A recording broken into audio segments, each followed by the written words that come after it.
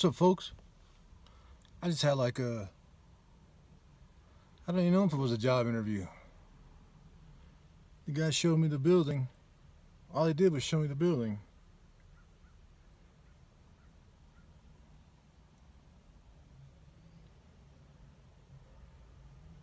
Got like 3,000 steps.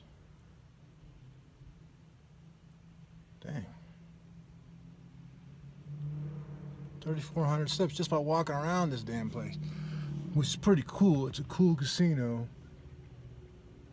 Um, basically needs a maintenance supervisor or a manager. It's a tough task. It's challenging. There's going to be some management. Uh, there's going to be some organizing, getting shit together. There's going to be lots of cleaning up, lots of. It's all a challenge. It's all a task that could take a while. Um, I know I'm up for it. I know I'm up for the challenge, even though it's not a dream job, not a dream location. Uh, maybe it's something that I could take and handle. But initial figure that went up wasn't wasn't uh, very motivating. It's hot as shit in here. So, I don't know. Uh, basically, the the offer. Basically, it was an offer. It wasn't even an interview. I don't think it was more of an offer. Showing me around.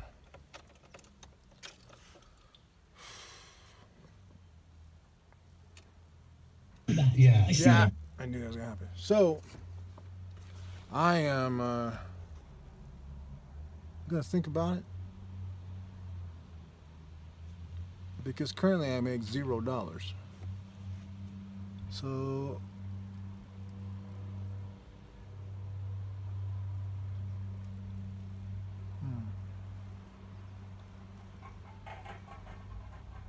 I don't know. I got a lot of thought to think about. One thing is my living uh, uh, situation. This is one of those mountain towns that doesn't have a lot. Um, I don't know where the national forest starts. So I'm going to go get on the computer and look and see what's the closest place where I can camp. Also, what I would need to I would need a bathroom, a shower. Now, I also mentioned to this guy that would it be weird if I slept in the parking lot? They have a huge parking lot, like multiple levels, four story parking lot. Parking's hard to come by in places like this, so they have a lot of parking. And uh, I asked if I could park there to sleep. Like that would be, that would be cool. Uh, he mentioned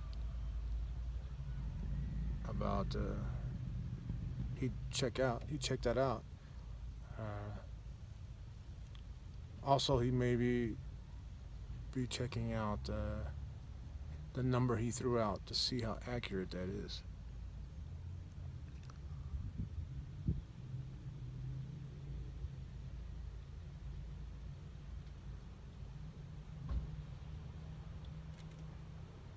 Hmm. Anyways, so that's why I'm wearing this, my new polo that I got. I got a job interview. Now I don't know where I'm going. I spent a week in, uh, in, in, in suburbia, in luxury, sleeping on a bed and having air conditioning. Uh, now I want to, now I don't know where I'm going to go.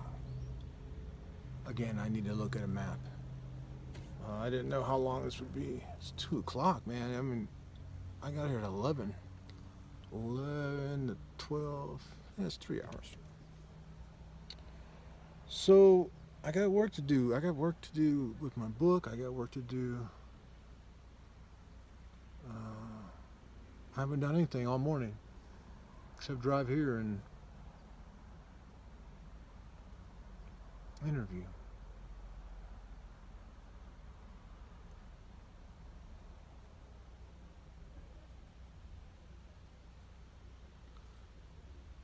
I'm not going to Texas like I thought I was, which is kind of good because I don't have a fishing license in Texas. Nor do I in New Mexico. I have a fishing license here, and I like fishing here. So any any time I out of this state takes me away from fishing in this state. So I'm glad for the change of plans. Uh,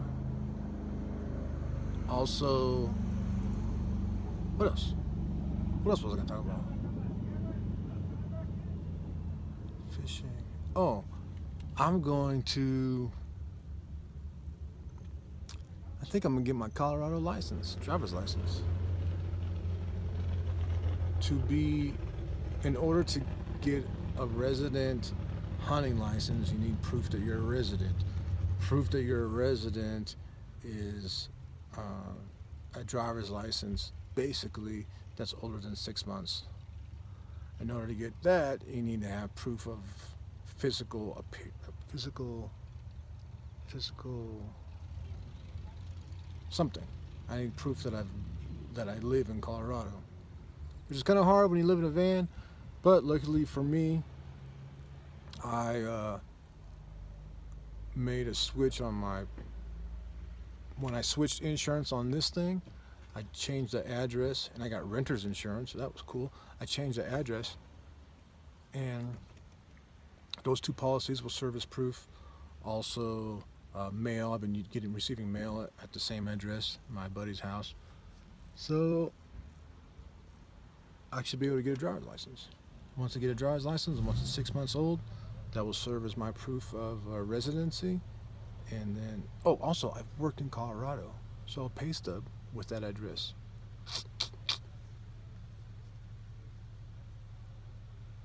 I think Colorado's going to be my home.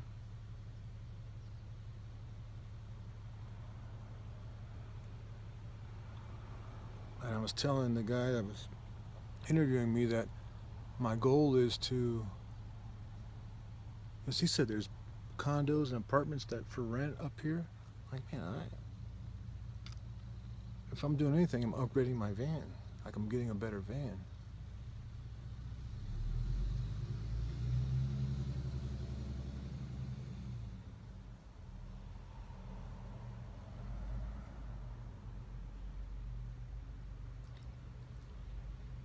But I need to, uh, I think hunting is going to, you know, my fishing license is a little expensive, but the hunting uh, uh, tags, the hunting licenses are like almost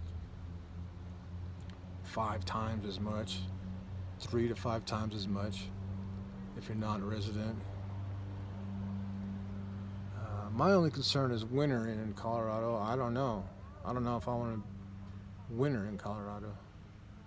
If I have a job, it doesn't matter. I'll have to. So we'll see. Anyways, I'm gonna go get my second cup of coffee, settle down, get some work done on the computer, and then maybe head out somewhere. I am not too far from Nederland, which it puts me right 18 miles above Boulder. Like, I don't want to go that way. I want to go that way. I want to go fishing.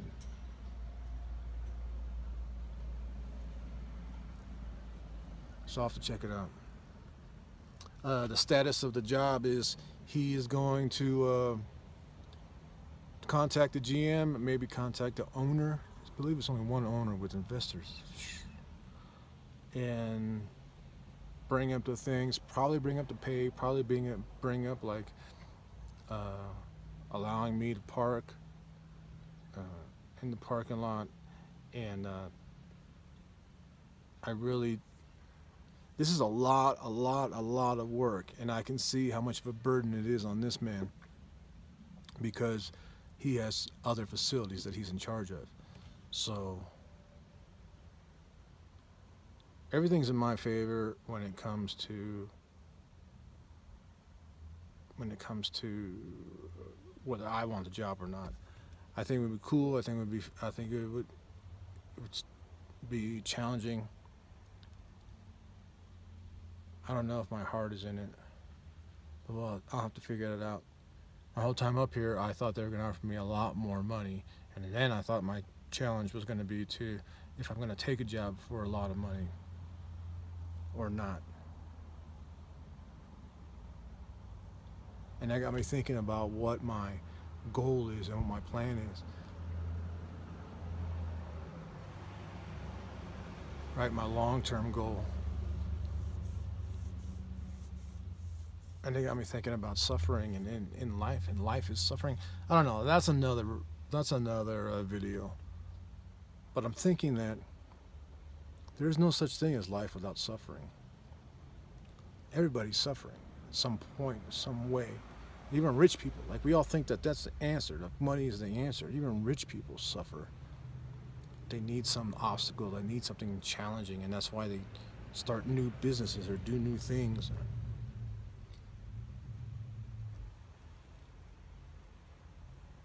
Is there such thing as life without challenges? Is there such thing as an easy life? Like, what the fuck are we striving for? To swing on a hammock every day and drink margaritas?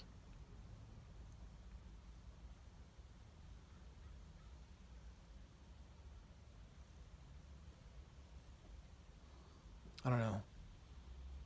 So that got me thinking and thinking about that. What I want is to not owe anybody any money. So I have three mortgages, three rental properties.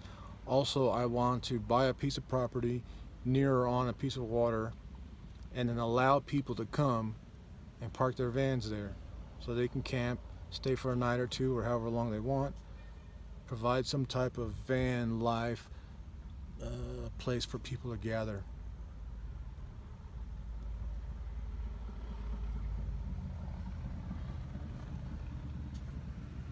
I don't know. What's the worst could happen? I own a nice piece of land on a river. I think it's a good thing a motivating goal. Like, why am I trying to earn money? Like, I need something more serious. I need something more long term. I need something, I need a reason to earn the money that I'm earning or gonna earn or whatever. Anyways, I gotta go do some shit and uh, I'm gonna try. This is uh, I keep forgetting the name of this town.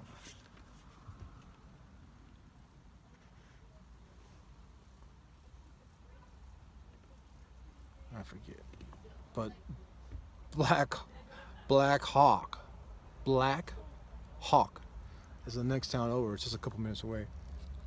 Uh, I think they got a coffee shop there. Starbucks. I wasn't gonna. I said coffee shop because I want to say Starbucks, but they got Starbucks there. Hey man, I need my internet. I need some. I need to get some work done. I need some chow too. I'm hungry. Oh, I got some food here. Anyways, that's it, folks. Um, I'll keep you posted and what have you. And I'm going fishing, and maybe I won't have internet. Who knows? But I'll talk to you guys later.